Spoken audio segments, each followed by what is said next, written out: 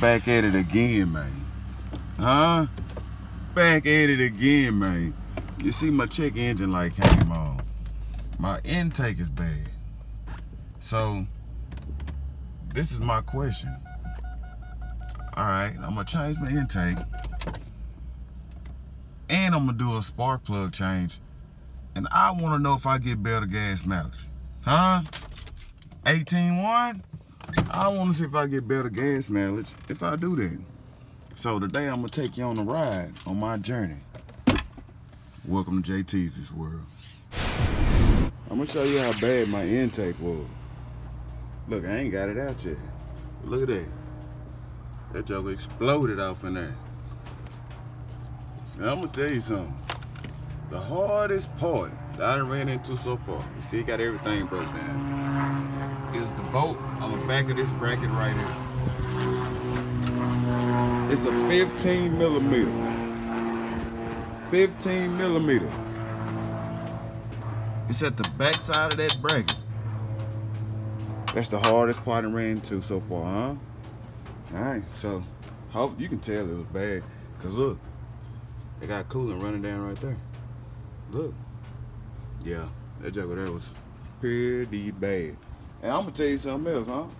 Look at that. Gotta put some coil packs in there too. Huh? Look, that's how I pulled that one out. They all not identical. These right here still OE. So while I got all this out, I might as well change it. I'll come back to it later. Nah, I might as well just gonna do it while I'm there. What you think? Huh? Nah, you tell me. Huh? All right, let me get this thing out. I'm bring you back when I get out. Got it out. Gotta do cleanup now, but look how bad it was. Look at that. Huh? Was it overdue or what? Huh? Look at that. It's horrible. All right, so about to go get this other one, jump, jump it back in. Buttoned up. Huh? Huh? Got all buttoned up. All I do is put the cover on top. All right, so this is what we did. New intake, as you see, new intake. You see that, huh? MSD plugs. I mean, coils. MSD coils. I said plugs. MSD coils. Huh? Autolite plugs. There go my gun. Huh? Huh? Get at your boy. So, we're gonna see what it say. Let's fire this bad boy up. Remember my check engine light was on. So, I took the battery off and let's see. No check engine light.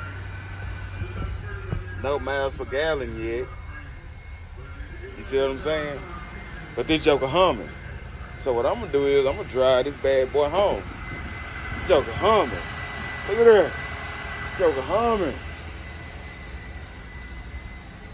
Look at that. Joker breathing. You hear that? Maybe not. But it's okay. so what I'm gonna do? What I'm gonna do?